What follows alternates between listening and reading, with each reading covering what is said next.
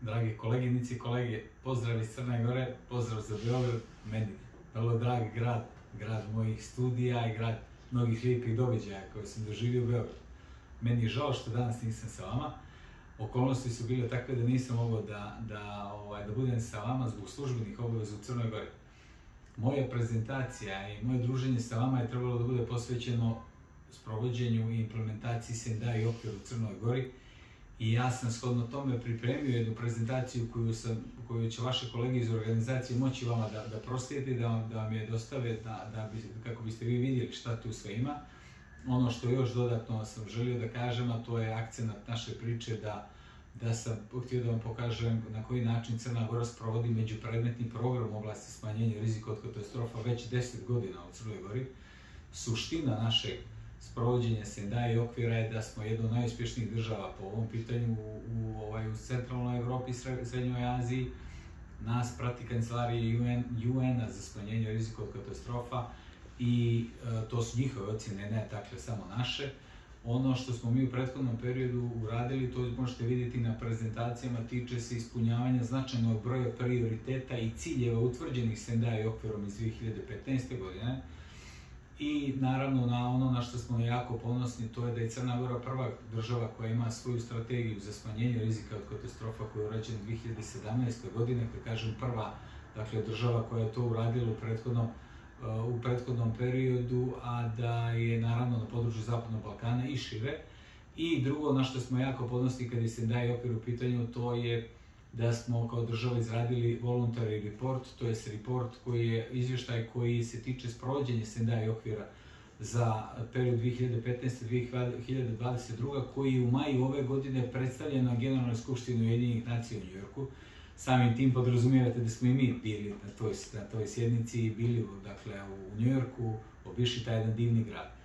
Drugi aspekt koji posebno želim da potenciram, to je međupredmetni program.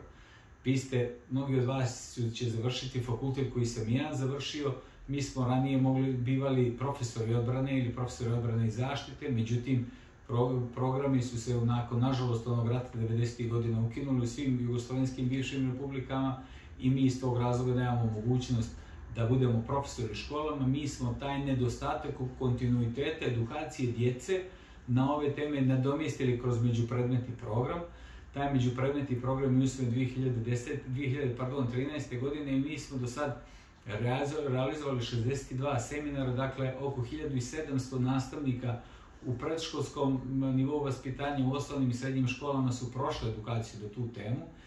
I ono na što smo jako ponosni, suština tog programa je da u stvari postojećim obrazovnim programima nadomjestimo ono što profesori predaju. Kao jedan dobar primjer navodim profesori geografije, koji predaju temu zemljotresa i govore o parametrima zemljotresima, zemljotresa, karakteristikama, vrstama zemljotresa, skalama za mjeranje nivoa zemljotresa, odnosno magnitude, intenzitete, međutim ne govore o tome šta raditi prije, tokom i nakon zemljotresa. Upravo to je cilj našeg međupredmetnog programa i mi smo to uradili za sve prirodne i druge katastrofe. Ishodno tome učimo nastavnike na, na sva tri nivoa obrazovanja, a onda oni to prenose djeci dalje ono što ćete, što ću da zamolim mog prijatelja Vlada i da vam predstavi, da vam pokaže i fotografije kako izgleda kada nas, kada nas osobe iz preškolskih ustanova izvještavaju o sprovođenju aktivnosti koje su dobile kao zadatak nakon edukacije. Vidjet ćete sjajne fotografije djece koje su u određenim pozicijama nakon što se desi zemljotres i to je konkretan plot tog rezultata. Ja ne bih više o ovome, ostavljam, ostavljam profesoru Cvetkoviću da vam mogućnost da vam prikaže sve ove detalje kroz ono vrijeme koje sam ja praktično imao. Kažem, žao mi još jedan što se ne družimo danas u Beogradu, ali sam siguran da će biti, biti, prilike i onako čvrsto obećavam da će sljedeće godine biti sa vama jer znam da će, da će se ovaj događaj ponoviti sljedeće godine i također sam siguran da će biti vrlo kvalitetan. Pozdrav još jedan za vas iz Crne Gore i srećni vam nastupajući praznici.